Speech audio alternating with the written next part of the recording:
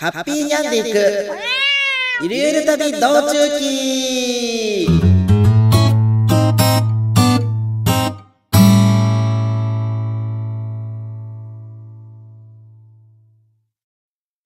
どうもこんにちは、キーボーです。しばらく旅動画投稿できなくてごめんなさい。実は、がっつり母がコロナになってしまい、私も体調不良にやられてしまって、体は元気なんだけど、声があまり出ないという状態で、なかなか収録ができなくなっていました。お待たせして申し訳ないです。とりあえず、まだまだ本調子ではないですが、頑張って投稿していこうと思いますので、応援のほどよろしくお願いいたします。さてさて、今回のゆるゆる旅道中記は島根編。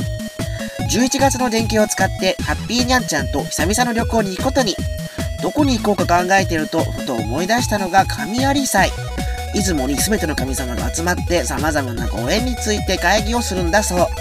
その時期とちょうど休みが重なっていたのでせっかくならこの神計りを見に行こう。ということになり初の島根旅行へ。神々の集う島根は魅力だらけの県。グルメに観光にスピリチュアルに美しい景色と今回も大満足のゆりる旅です。新年から神様のパワーを受けてみんなもハッピーな一年になるようなそんな内容をお届けしたいと思います。今日の回はひたすらお勉強な内容かもしれないですが寝ないように気をつけてね。それではハッピーニャン出発進行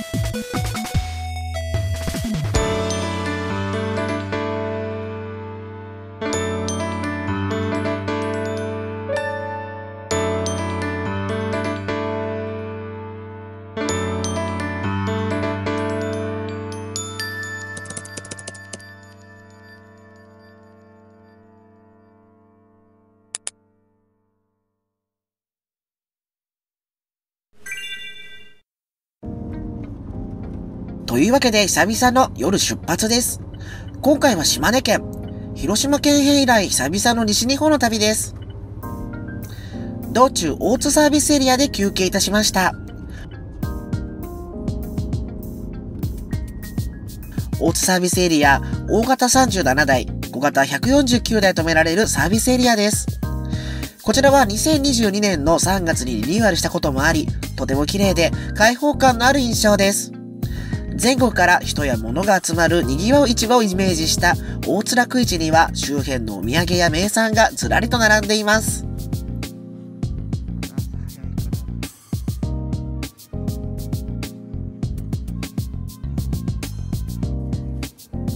また2階にはフードコートが滋賀県内ではここにしかない大阪王将や様々な名店が勢揃いです。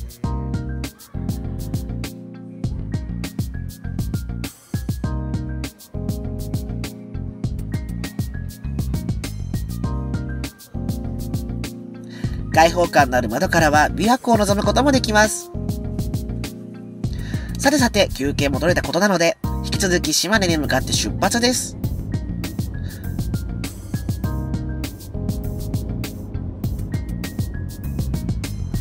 道中霧が出てきました。今日は天候が悪いのでしょうかちょっと不安になってきますね。続いてガソリン補給のために立ち寄ったのはこちら、昭和サービスエリアです。大型35台、小型58台止められるサービスエリアです。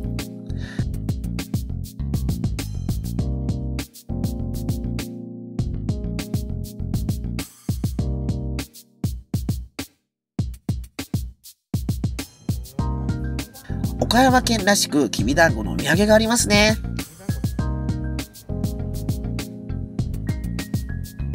さて、出発です。一度は霧が出てきて心配だった気候も、だんだんと晴れ渡る空に変わっていきました。なんだかいいことがありそうです。長らく走行してきましたが、米子西インターに到着です。ここまでですでに700キロ超え。いやー、なかなかの長距離旅です。というわけで、本日最初の目的地に向かいます。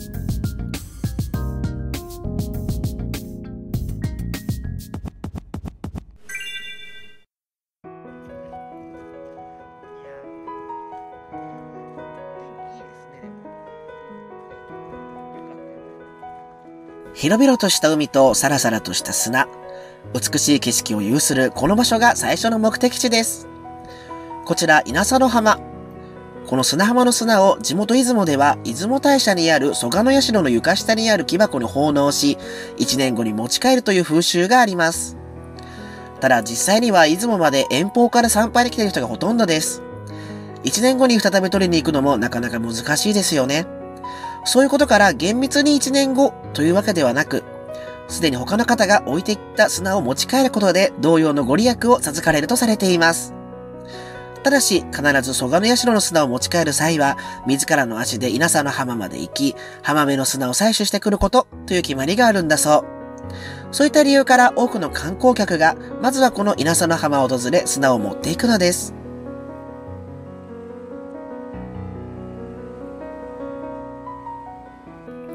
この立派な岩の上に立つ鳥居は弁天島の御祭神であり、浜の守護神である豊玉姫をお参りする社殿です。砂をいただく際は先にこちらを参拝します。と言っても実際に社殿まで行くのは困難です。手前から妖拝するのが一般的ですよ。というわけで私たちも参拝した後に砂をいただきました。実際に訪れる際はスコップ等を持ってくるとやりやすいですね。それでは出雲大社の方に向かいます。ちなみに正式な作法では先に一度本殿にお参りしてからなのですが、今回は略式でお送りいたします。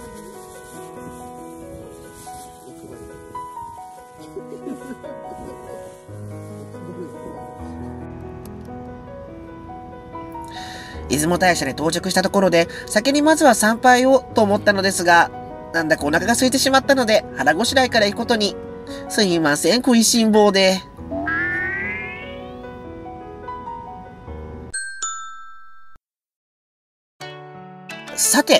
出雲のグルメといえば皆さん何を連想しますか？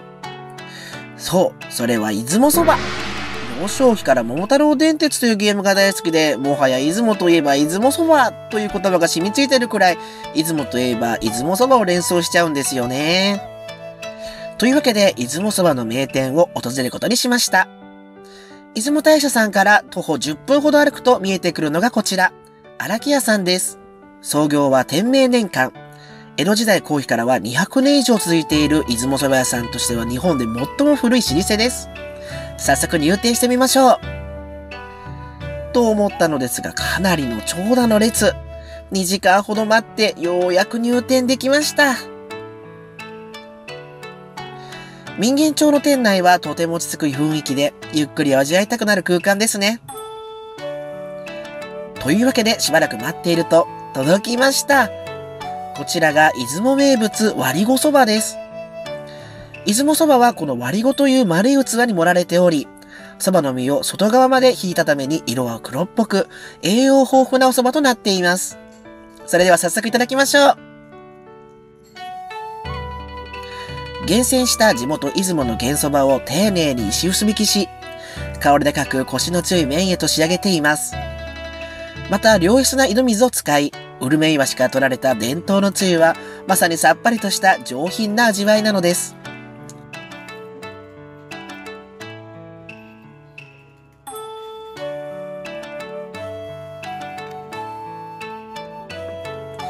うーん、とってもコシがあって美味しい。さすが日本三大蕎麦の一つです。とても香り高い蕎麦の香りが気候をくすぐり、蕎麦の風味を堪能させてくれます。割りご蕎麦は様々なトッピングがされており、上から順番につゆをかけて食べ終わったら次の器に残ったつゆをかけていく。こうして様々な味を堪能できるのが割りご蕎麦なのです。最後は蕎麦湯を堪能。ただの茹で汁と侮るなかれ。蕎麦から溶け出したビタミンがたっぷりと含まれた蕎麦湯は体にとってもいいんだそうですよ。ゆっくり味わって一息つきました。個人的にはとろろ蕎麦が一番美味しかったです。皆さんはどの蕎麦が食べてみたくなりましたか？ぜひ、出雲に来たら、日本三大蕎麦の一つ、出雲蕎麦を食べてみてくださいね。ちなみに、出雲大社周辺にはたくさんの名店があります。いろんなお店を食べ歩きするのも楽しいかも。それでは、いよいよ出雲大社の方に向かいます。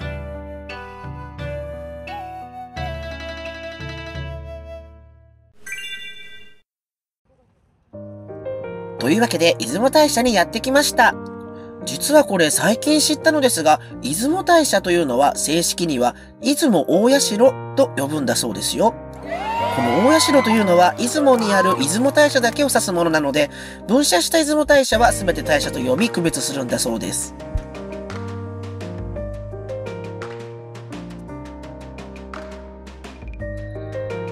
あ、いえ、決して間違いということではないみたいです。大社と呼び方は一般化されていることから神社側も使うことがあるんだそうです。けれど、式典やそういった正式な場では大社と呼ぶんだそうですよ。皆さんもこれからはいつも大社と呼んでドヤ顔です。役も立つ出雲の国が神の国として知られているのは、神様をお参りしている神社が日本の至るところに鎮座しているから。それらの全ての中心に鎮座されるのが、ここ、出雲大社なのです。ここで祀られている大国主の御様は、広く大黒様として慕われています。そんな大黒様は、ご神明の一つに、雨の下佃獅子の狼というものがあります。遥か上城の昔、遠い祖先たちと様々な苦楽を共にしながら、国土を開拓されたことに由来しており、現在の栗作りの大技を果たしました。狼様は栗作りの際に、農耕や漁業、食産に医薬の道と、我々人間が生きていくのに必要不可欠な様々な知識を授け、多くの救いを与えてくださったと言われています。そんな慈愛ある御心への感謝の表れが様々なご神明の由来となっているのです。今日では縁結びの神様として人々に慕われていらっしゃいますが、この縁西というものは男女間だけではなく、様々な生きとし生きるものが共に豊かに栄えていくための尊い結びつきなのだと思います。例えば今こうして私の動画を見てくださっている皆さんにとっても、もちろん直接お会いしたわけではない人でも、縁西があるからこうして繋がっている。そういった目には見えないご縁をお結びくださるのが大国西様なのです。さて、この11月というのは、出雲大社にとっては大切な神有祭を行う重要な時期です。本来、旧暦では神田月と呼ばれていますね。それは日本中すべての神様が、ここ出雲に集まるためにその月は神様がいない、ということから呼ばれています。そのため、出雲では逆に神有月と呼ばれるんだそうですよ。そういえば、なぜ11月の出雲に神様が集まるのでしょうか？これには様々な説があるようです。1番、陰陽説。陰陽道といえば、安倍の生命という名前は聞いたことある人は多いんじゃないでしょうか。陰陽と五行の2つの組み合わせで万物の原理を明らかにしようとした疫学の考えであり、後に八家といった占いや同教、儒教にも影響を与えたものです。さて、この出雲大社の創建の当時は、大和朝廷が世の中を治めていました。大和朝廷があったとされる機内からは、ここ出雲は北西の方向に位置します。陰陽道では、極陰の際、すべての陽がそこに集まることによって世界は再生するとされており、これが、極陰が10月、方角は乾の方角、そしてすべての陽は日本の八百万の神々を指していると考えられています。よって極陰である10月に、その場所に位置する出雲に全ての神様が集まるよ、というのが陰陽説。二つ目は、出雲の大社の祭神が10月を支配しているという説。先ほども言った通り、この出雲大社のご祭神は大国主の御事なのですが、もともとはスサノオの御事がご祭神だったとも考えられているんだそうです。実はスサノオの御事というのは結構やんちゃなところがあり、天上界においては、まあまあネタ面をする破天荒な性格をしていたんだそうです。そんなスサノオミコトを眺めるために、平安時代初期に書かれた竹取物語などで有名な古今和歌集には、アマテラスの御事を養子として10月を譲ったという記述があるんだそう。こうして江戸時代には、出雲大社には、スサノオミコトが10月を支配していることがゆえんで、神々が集まっていると考えられていたという説が2つ目です。三つ目は、出雲の国づくりを行った大国主の御が有事を治めているという説。日本書紀によると、大国主の御が出雲の国を天照の御の使いに譲る約束をするといった国づくりの神話があります。その際に大国主の御は地上の国の政治的支配を譲り、目に見えない有事の世界を治めると答えました。その後、出雲大社のご神徳や信仰を広めた恩師によって、出雲の国には神有月に八百万の神々が集い、男女の縁を結んで子孫を繁栄させるといった考えを広めていったというのが三つ目の説。そして最後の説は、イザナミの御の法事説。この祖人であるイザナミの御は15世紀末の文献には10月にご崩御されたために10月を神奈月と呼び、16世紀には佐田神社に埋葬されたという記述があるんだそうです。故に全ての神様がその法事のために集まっているという説。なんだかこれだけ急に人間っぽい話ですね。皆さんはどの説が正しいと思いましたか？どれが正解というものはなく、皆さんの想像に任せることになりますが、こうしたいろんな文献を紐解いていくのもなんだか楽しいものですね。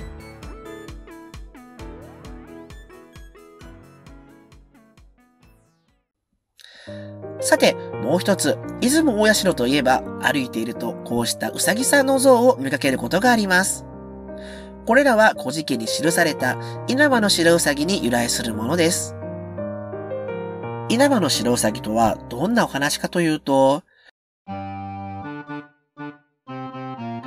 れは大国主の御事が広く国を治める前の話です。沖の島にとある一匹のウサギが住んでいました。ウサギは何とかして稲葉の地に渡ってみたいと思うものの、自力では到底渡れません。そこでワニザメを騙して渡ろうと考えたウサギは、自分たちウサギとワニザメのどちらが数が多いのか比べようという話を持ちかけ、数を数えるふりをしながら向こう岸まで渡っていきました。しかし、つい騙せたことに嬉しくなってしまったウサギは、騙したことをポロッと話してしまい、ワニザメを怒らせてしまいます。その仕返しに、ウサギは皮を剥がれてしまいました。あまりの痛みで砂浜で泣いていると、大栗主の御の兄神様が大勢通りかかりました。彼らは稲葉の国にいる八神姫という大層美しい姫がいるという噂を聞きつけて、お嫁さんにしようと稲葉の国へ向かっている途中でした。彼らは面白半分に海水で体を洗い、風に当たってよく乾かし、高い山の頂上で出れば治る、と意地悪な嘘をつきます。言われた通りにしていたウサギは海水が乾くにつれて、さらに傷がヒリヒリ痛み出しました。前よりも苦しくなって泣いているウサギのもとに現れたのが、大国主の御事様。兄神様の荷物をすべて持たされ、大きな荷物を背負っていたために、だいぶ遅れてそこを通りかかったのです。泣いているウサギにその理由を聞いた大国主の御事様は、河口に行き、真水で体を洗って、ガマの花を摘んでその上に寝転ぶといいよ、と伝えます。そう言われたウサギは、今度は川に浸かって、ガマの花の上で静かに寝転びました。そうすると、体から毛が生え始め、元通りの白ウサギに戻ったのです。大層喜んだ白ウサギはそのお礼として、自らが伝令の神となって、兄神たちが到着する前に、八神姫にこの事実を伝えました。そんなことなどつゆも知らぬ兄神たちは、競って結婚を申し込んだものの、そっけなく対応され、私は大国主の御のもとへ嫁ぎます、と言い放ち、兄神たちを追い返しました。それから二人は結ばれ幸せに暮らしました。というのが稲葉の白うさぎの話です。そういったことから大社の境内には、ご自愛のご神像と呼ばれる稲葉の白うさぎをモチーフとしたうさぎたちの石像が計66はあるんだそう。各所に点在しているので、このうさぎたちと触れ合いながらお参りするのも一行かも。さて、無事に出雲大社の参拝を終わらせました。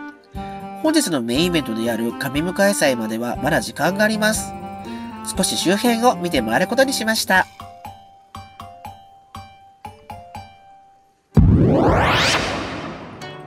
出雲大社の真正面、尋問通りには様々なお店が並んでいます。こちらも散策してみましょう。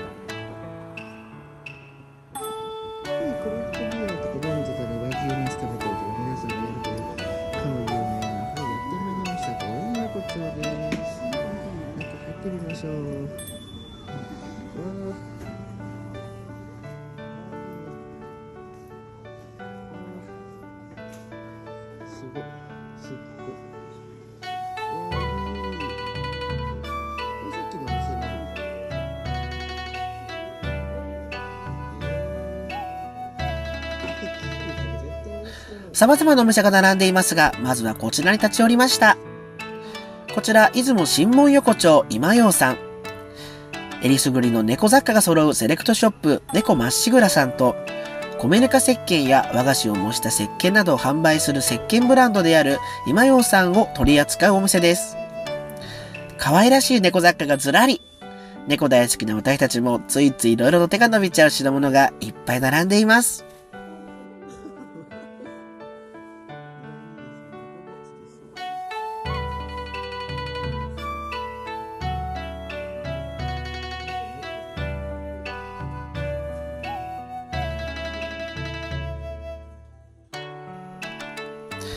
続きまして訪れたのはこちらのお店。少し大通りからそれた先に雰囲気のいい古民家カフェがあります。こちらは沖野上ブルーカカオさん。古民家を改装したカフェ兼ビーントゥーバー工場です。ビーントゥーバーとはカカオ豆から板チョコにするまでの工程をすべて同じ作り手が一貫して手掛けたチョコレートのことで、世界各国から厳選したカカオ豆を取り寄せ、手作業で焙煎、粉砕、すりつぶしといった工程を行い、仕上げた一品を取り扱っているお店です。基本となるダークチョコはカカオ豆と砂糖のみというこだわり。良質な材料だけを使うことで、産地や種類ごとのカカオ豆の味わいを楽しむことができる隠れ家的スポットとなっています。その中で色々悩んだ結果、こちらのチョコレートドリンクを注文しました。濃厚なチョコレートの風味が口いっぱいに広がり、今まで食べていたチョコって何だったんだろうと、新鮮な努力を与えてくれて、とっても美味しかったです。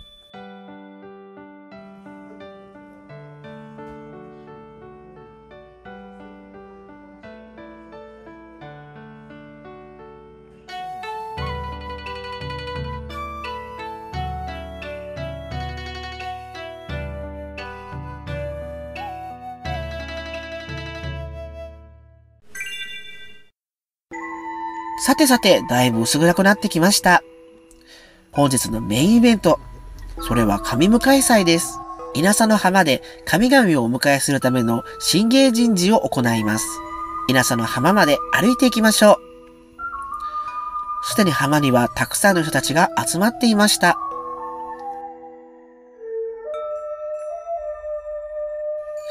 弁天島のふもとには、巫女が海に向かって祈りを捧げています。この時のピンとした空気感、新鮮なものを目の前で体感している、そんな風に感じました。それから夕刻七時を回ると、ご神火が焚かれます。もちろん大切な儀式の場、近づくことはできません。厳かな空気の中、滞りなく神事は進んでいくのでした。この後は龍蛇神が先導となり、方角奏でる中、浜から出雲大社までの神芸の道に延々と行列が連なります。これらすべてを神迎え祭とし、日本中の神々が無事滞りなく出雲に集められるというわけです。さてさて、神迎え祭も堪能したところで、そろそろお風呂に入り行こうと思います。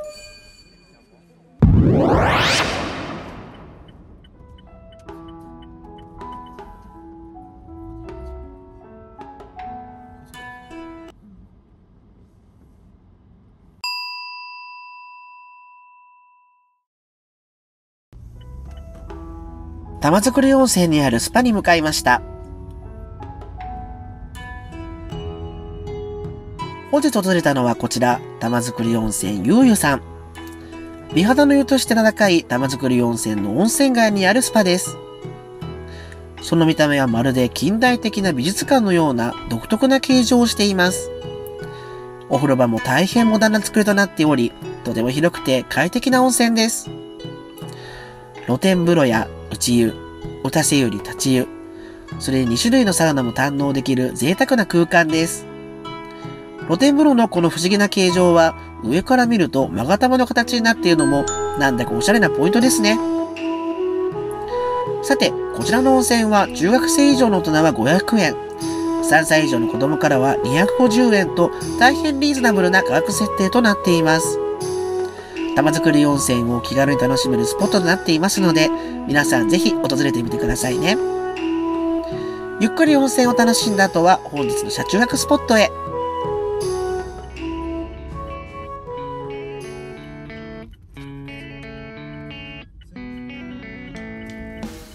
今回車中泊で訪れたのはこちら、道の駅五伊勢二間。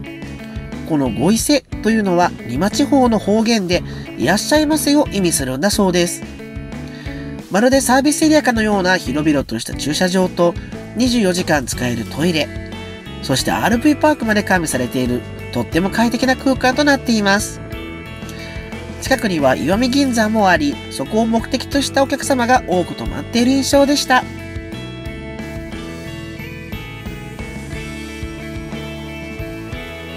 それでは明日に備えて今日もお休みです。それではおやすみなさい。ってあれ？なんか忘れてるような気が。